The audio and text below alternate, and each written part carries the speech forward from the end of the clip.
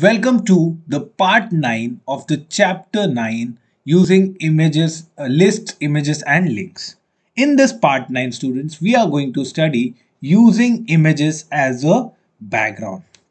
Okay, using image as a background to the web page. So let us quickly begin with it students.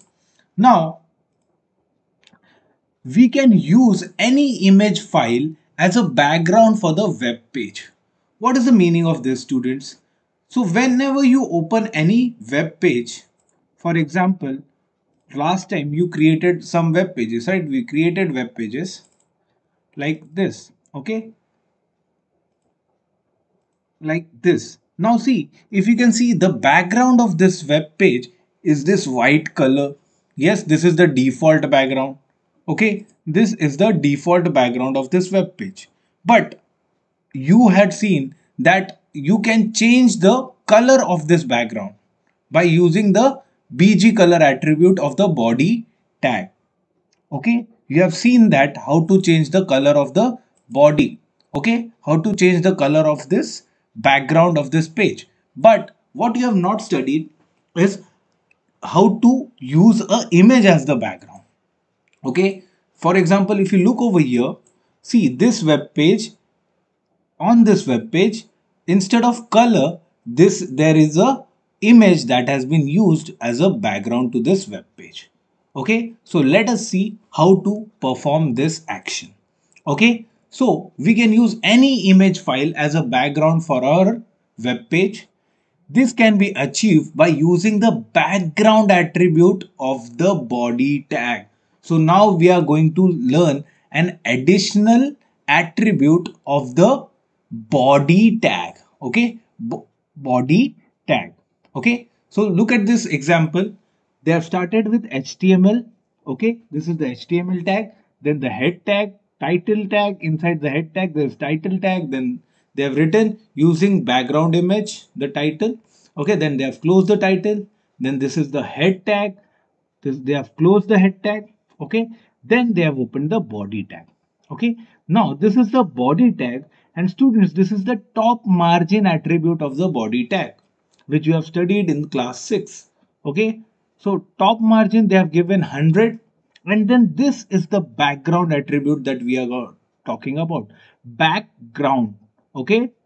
So what is the name of the attribute? Background. And this, then the value of this background will be the name or the location of this picture or the image.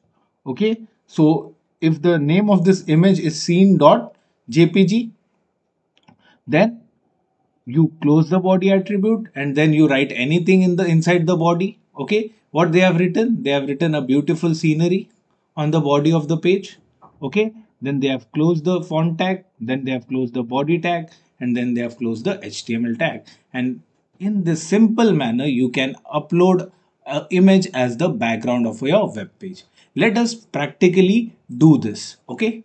So students i have this scenery okay? I have this scenery image on my this folder okay? In my this folder i have this image. So what let us create a web page and uh, use this scenery dot uh, jpg as the background of that web page okay? So i have this small code I will just delete everything. Okay. So I will write image as background. Okay. Now see I've started with HTML tag then head tag title on in and this is title off between title on and title off I have written some title which will appear on the title bar of the page. Okay. In the output. Then this is the head off tag. Okay after the head of tag, I get the body tag students. Now, if I want to upload an image as a background of a web page, then I have to use the background attribute of the image tag. Background. Okay, don't write background. Okay, don't make spelling mistake. Okay, it is background. B Okay? And over here I need to specify the location of my image. So you know what we need to do? We need to uh, just uh, go to properties of this image go to security and copy the location of this image. Okay? Copy the location of this image and then paste it inside the value of the background attribute. Okay?